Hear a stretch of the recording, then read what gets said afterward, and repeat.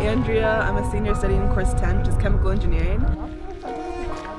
My name is Elissa Gibson. I'm a third year studying Aeroastro. My name is Nadia Wade. I'm a junior this year. I'm course 6-3, which is like computer science.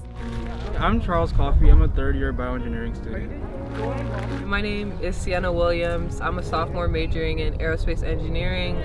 She like took it again. We're just out here for a hike, which is like really nice. I get a little restless staying on campus and doing virtual classes, so it's always nice to get out and get into nature.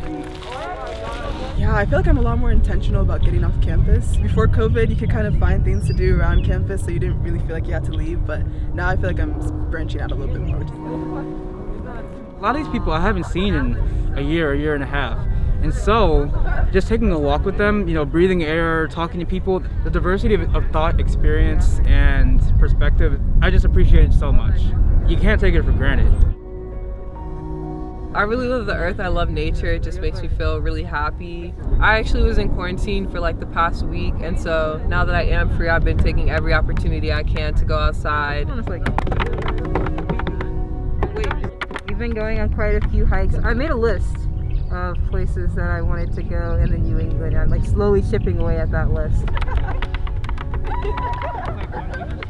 I've recently been reading the Overstory, which is really good. They like love nature so much and the way he talks about how trees and organisms have a different kind of intelligence and that should be valued just as equally as our own intelligence and our own development speaks a lot to me.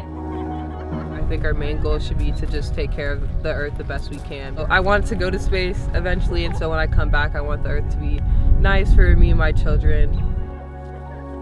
I've been inspired to learn more about biosystems and how we can use them to better ourselves, better the planet. It's beautiful. hopefully we keep it looking this way.